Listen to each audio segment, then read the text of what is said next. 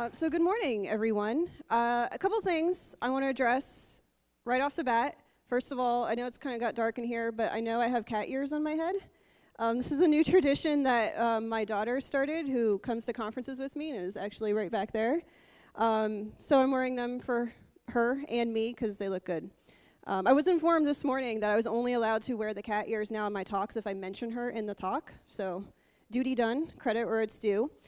Um, the second thing I want to address right off the top of the top of things is that I don't think that my top talk topic was available before now. So um, I'm going to be talking this morning about how to not be an expert.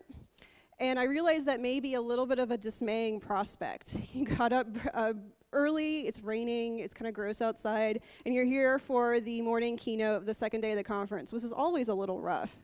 Um, and now you're faced with somebody who is talking about seemingly not knowing what she's talking about. Um, so I get that. It's okay though. I'm going to explain everything and we're going to get through it, and I think you may like it at the end. I hope so. I've been thinking a lot about this idea of, of experts um, in our software web industry. Uh, the idea of like, what is an expert? How do we get to be an expert? And then in this getting to be an expert, that means, well, what are we learning and what are we teaching? And also, more importantly, this idea of what are the goals and ideals that we are setting up as experts, that we are sharing with the people around us and setting up as our, as our own aspirations. Um, what does all of that mean? I have questions about all of that, obviously.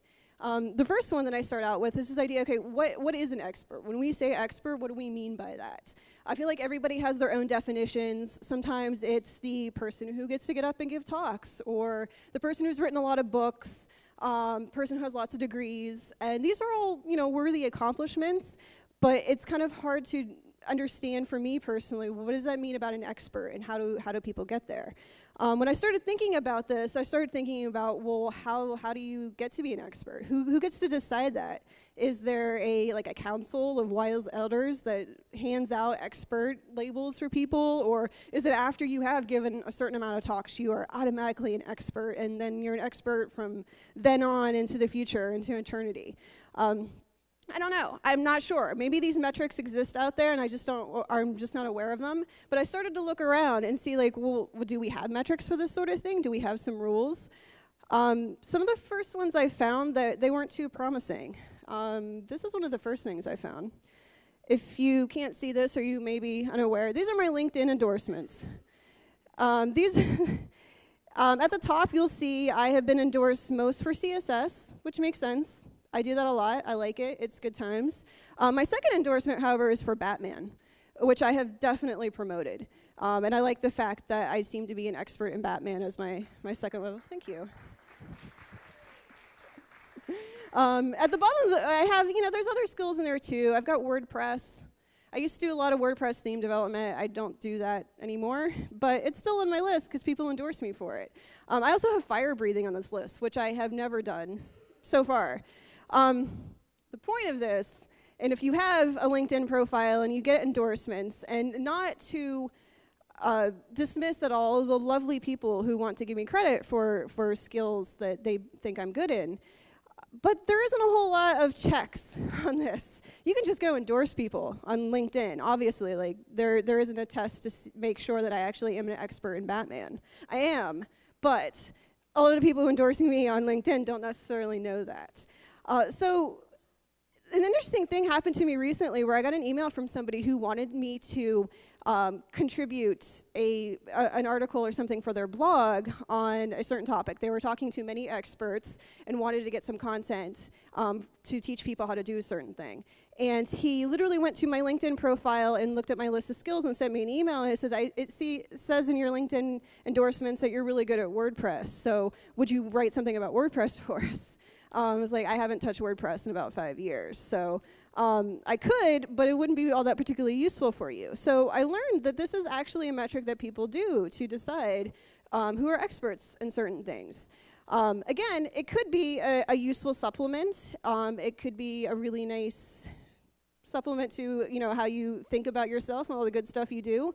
Um, but nobody has ever come to me and asked for my opinions on Batman. So I don't know. The whole thing seems a little a little strange to me. So I'm not sure if I trust this as a system to really determine who's the best in things or not. another thing I found is something like this you may have seen on portfolios. Has anybody seen anything like this to describe certain skills? Um, this is a screenshot from uh, somebody who I think has more designery type skills. If you read this closely later on in the slide, you'll notice that this is actually from a parody site called The Worst Portfolio Ever. And so it's making the point here that there's a list of skills and then a bar that indicates how much of this skill this person has. For example, they have 100% of skills in Photoshop. What that means, nobody really knows, but it's up there in a graph, so there must be something to it. Um, there's also 50% of logo design. So, okay, that's there. Um, I see this a lot, and it's really hard to kind of decide. Well, what what does what does this really mean, though? Is there a finite amount of you know HTML and CSS that that exists in the world, and I know 35% of it? What do I have to do to get to 100? How do I know when I get to 100%? Is that when I get a certificate or something? Is that when I'm expert in HTML and CSS? Um, I don't know.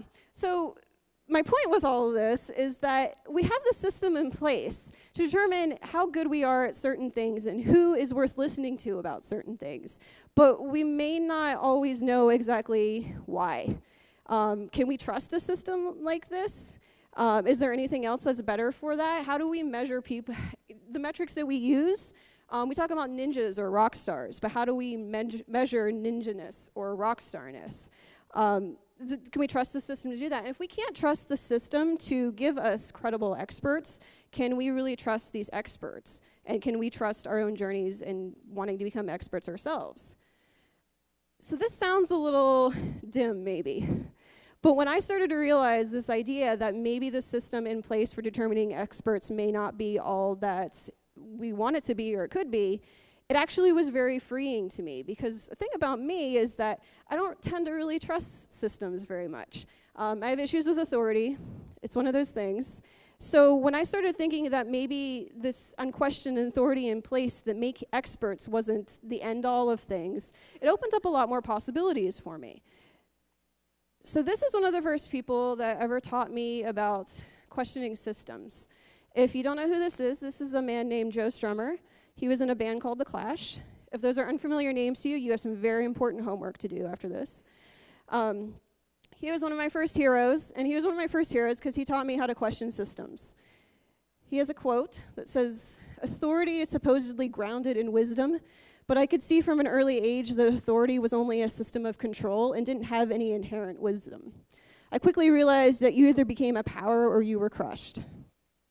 Which it gets a little depressing at the end, I know.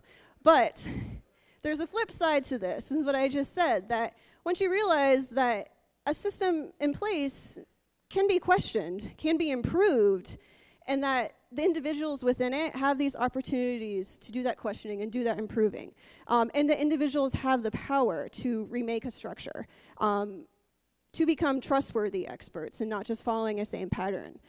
Um, that's really cool, actually. This idea that, oh, hey, maybe the system doesn't make a whole lot of sense, or we're not quite sure how we're elevating people to these spots or how I get to that spot myself. But there's this opportunity here to think about better ways of doing that, thinking about what we value and how we can put new values into the world.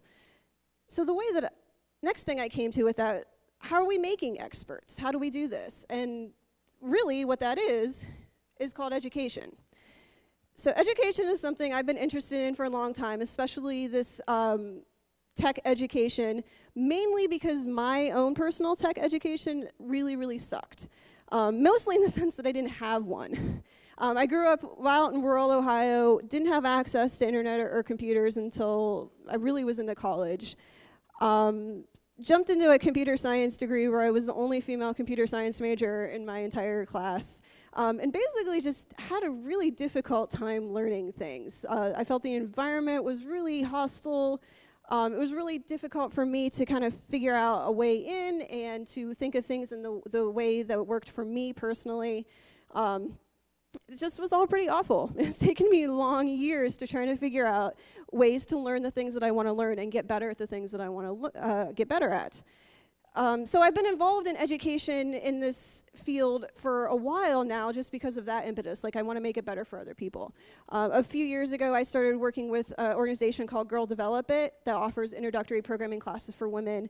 I founded a chapter in Columbus and then moved on to Chicago where I was helping Girl Develop It in Chicago. I also taught at a coding school for about a year and a half. So I spent a lot of time in this realm of education thinking about how we're bringing people in here and also it's made me think too how we are helping people already in the field continuing to learn and one of the most important things that i came i started to realize is that we don't have an environment that really encourages open learning we tend to have an environment that really values people being an expert in things. And if you're not an expert in things, you can often be shamed for not being an expert in things. And that prevents people from learning. And so we kind of have this cycle in place where, again, we have these nebulous experts who are the only ones who are allowed to talk about things, but we don't really know um, how to get other people there because people don't know how to learn things. It just, seemed very strange and inefficient, to say the least. Um, so I have another quote from another person who's very important to me. This is a woman named Kathleen Hanna. She was in a band called Bikini Kill. Some more homework for you. Um, but she, uh, her work was in the feminist punk scene. And she had a very do it yourself message where she said, You don't necessarily have to have talent. You can just get up and do something and see where it takes you. I always tell girls who say they want to start a band but don't have any talent, well, neither do I. I mean, I can carry a tune, but anybody who picks up a bass can figure it out. You don't have to have magic unicorn powers. This is true for basically anything. Actually, yeah, I'll go ahead and say anything. Um, that doesn't mean that you can immediately just pick up something and be amazing at it. Like you're gonna need some time and practice to learn how to be a surgeon. You should, you know, put some time and effort into that. Um, but anybody can start out on that path. It's okay, and it's okay when you come in there that you don't know in the beginning because that's how it works, and that's that's all right. Um, the path of how you move along from not knowing anything to knowing something is what we want to talk about. So, what I've learned in education so far are a few things about how to create an environment where people feel empowered to keep learning. One of the first things I learned about that is that unlearning old expectations is way more difficult and way more terrifying than learning something new. So, as we're thinking about bringing new people into our field and teaching them how to move along a path to expertise, something important to keep in mind is that this isn't necessarily about just teaching people new things. This also goes for us individually when we want to grow in our own careers. It's very important to keep in mind that if you want to learn a new language or any sort of new technology or level up in what you already know, your main barrier is probably not going to be just getting information about that thing. There are books, we have great conferences, communities, things like that. It's all available to you. Uh, but unlearning old expectations about what you're supposed to do and be and how you're supposed to take that information in can sometimes be more of a barrier than anything else can be. Um, I don't think that we need to necessarily turn out people who are confident in what they're doing from day one and move on from there. I think it's okay to be uncomfortable in the beginning about what you're learning and what you're embarking on. And we should be teaching people that it's okay. You can be comfortable, you can be uncomfortable, you can be wrong about things. You can start off down a path and it cannot make sense. Um, this expectation that we always have to be right about things, otherwise we don't have a right to speak up, is more is holding more people back from learning and growing than not having access to information is. So the other thing that about this is that there's also a lot of things out there that we don't know we need to learn.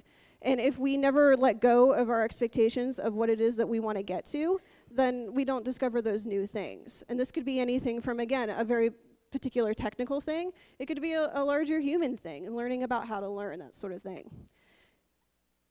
And this goes right along in the same vein, is that education is really about teaching people to get out of their own ways. And all of these things that I'm talking about education, I'm not just saying that somebody, that like if you're going to teach a beginner, this is all about teaching ourselves too. So we want to make sure that we have our, an environment in place where you know that you can unlearn these old things, you can let go of this expectations that you had in there. You can feel free to discover and explore and be wrong and make all sorts of mistakes, and you're not going to be derided as somebody who doesn't know what they're doing because you're just going to be on a path of exploration just like everybody else. This is another thing that I learned about education. It's not necessarily a new idea, but uh, the idea that if you teach someone a thing, she'll know a thing. Or if you can teach her to learn, then she can learn anything.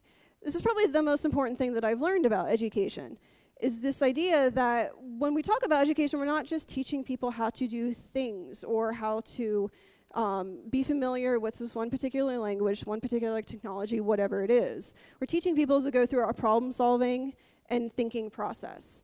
If you focus on learning that or teaching that, then you've opened up so many more avenues um, for exploration than you would have if you just taught the one thing. Um, so again, an old idea, but something that we should always keep in mind. And sometimes, again, this is harder to keep in mind when we're talking about ourselves. Um, so next time you want to learn something new, it may not be just picking up something, a new book. It may be examining your problem-solving process and like how you can explore that too. I've heard lots of people, and this is something that happens in these communities of people who want to learn new things. Um, I've heard lots of speakers before tell conferences that if you are a programmer that really wants to level up and learn something new, don't go learn a new language. Go read a psychology book.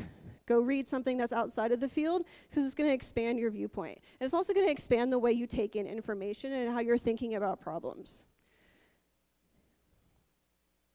So, I talked a little bit about my utopia of education. This place where we're all thinking about how exploring and making mistakes and being supported in that and everything is great and happy and beautiful and it's fantastic and we're all experts in batman and everything's great. The problem is that you can create these little bubbles. You can do this for yourself. You can do this in smaller groups and yet, at some point, you all have to go back out into the world, and now you're back out into that system that we started with, where the metrics are confusing to decide who you can trust with information, where you may be judged because you're not an expert in something. Um, all of these things that are kind of confusing and may not represent the values that we held in our little bubble of um, real good education.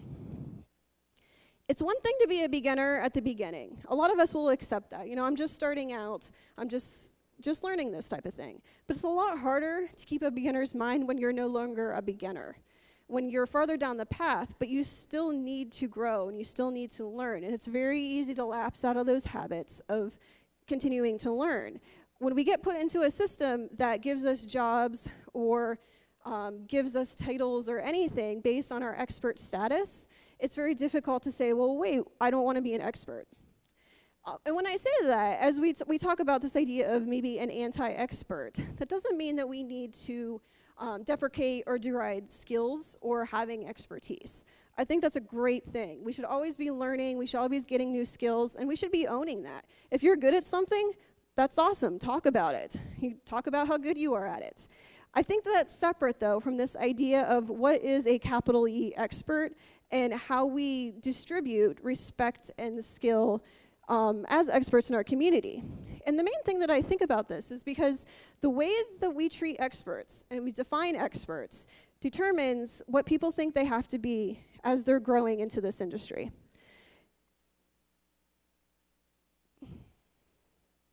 So this, I have another quote for you. This is a long one. I apologize, and it may be difficult to, to see, but I will read it. Like most of the others, I was a seeker, a mover, a malcontent, and at times a stupid hellraiser. I was never idle long enough to do much thinking, but I felt somehow my instincts were right. I shared a vagrant optimism that some of us were making real progress, that we had taken an honest road, that the best of us would inevitably make it over the top.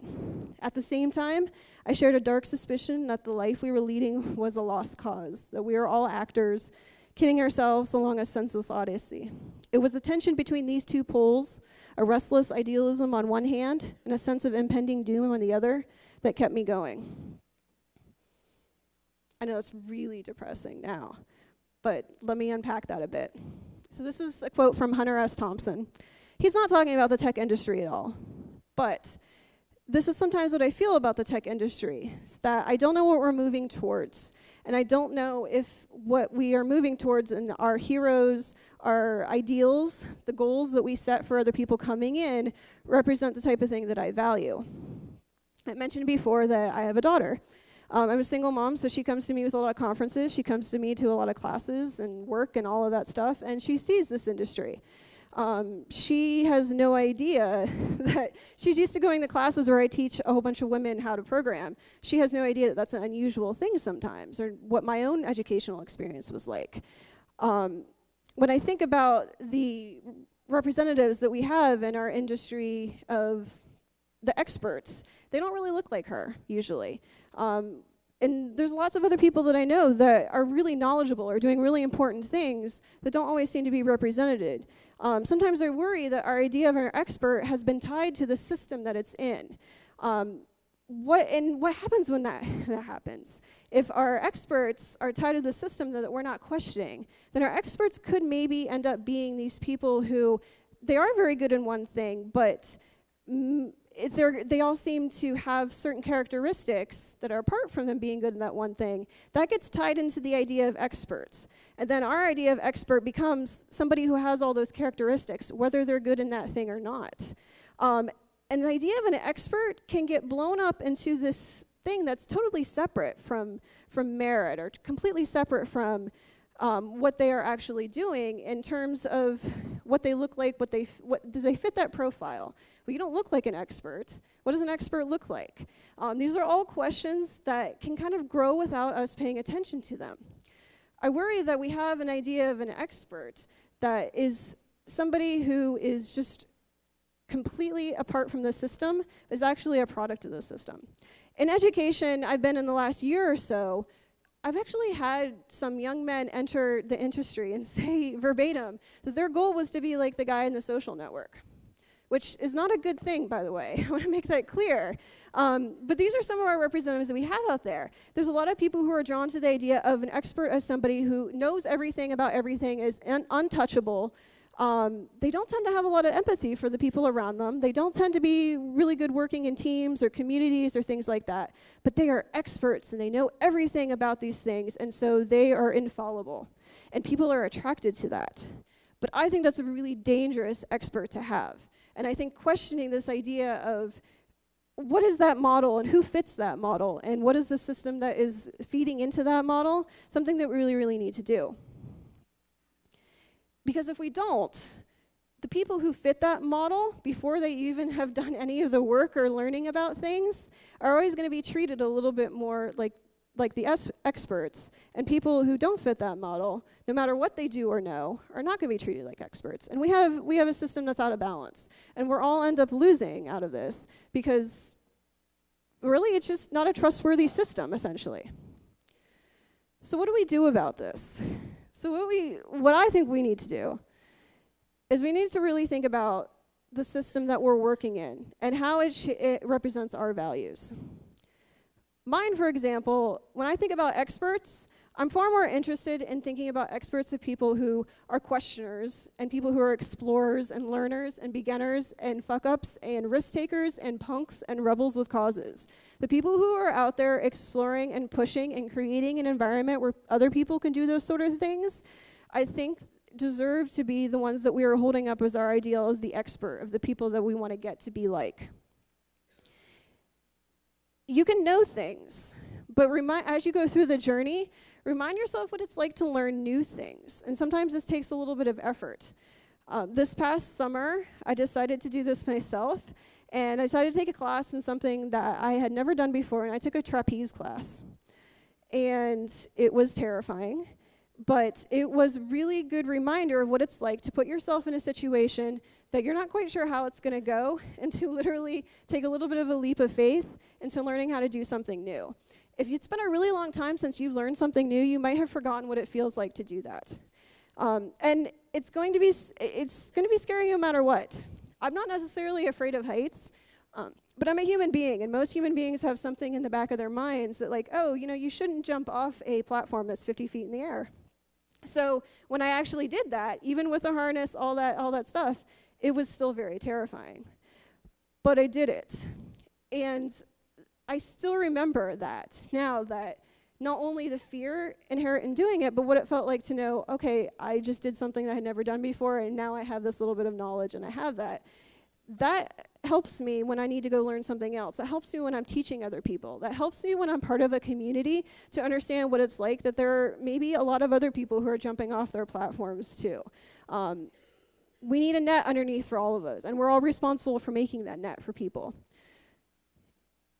The more that we can continuing learn ourselves, the more we can encourage other people to do this the more that we can teach people, people how to learn on their own and be supportive of their own journeys, the better we're going to be able to set up our ideals and values to represent what we really want our community to be like. So while we may have a not have a system in place that makes a lot of sense right now of absolutely rewarding expertise and value in the way it should be, we can make that. We can do this in very small bits by thinking about how we're learning in the world and how we're supporting the people around us. And eventually we can create this net that people are going to be able to do in. And it can be very small. You don't have to go out and change a whole educational system. You don't need to go and uh, try to start from elementary school or universities because we're not going to be able to change that all, all at once. But what we can do is do little bits here and there. Maybe it's something you just do for yourself. Maybe it's you just go out and sign up for a trapeze class to remember what it's like to learn new things and remember what it's like to be able to have somebody to catch you there when, you're, when you are learning them. Um, or maybe you decide to mentor somebody else at your workplace. Or maybe you just have a conversation with somebody at this conference about what you can do to create a better environment for people to stretch and learn. But the main thing is, is that we should always be questioning the goals that we're going for. Nece- learning in this industry isn't necessarily you came in as a beginner, you start at this one point, and you're going to move along this clear linear path, and at the end, you're going to be an expert, and then you don't need to learn anymore that is not the way it should be working. We're all going to be losing out if we don't follow other paths and bring other people in to follow those paths with us.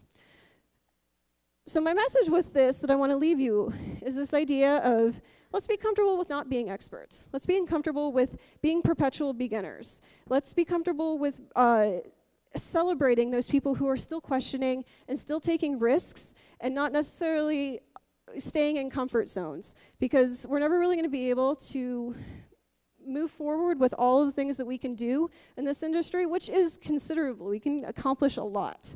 But we're going to be able to accomplish a lot more if we're doing it all moving forward in an way of exploration. And that's all I have for you.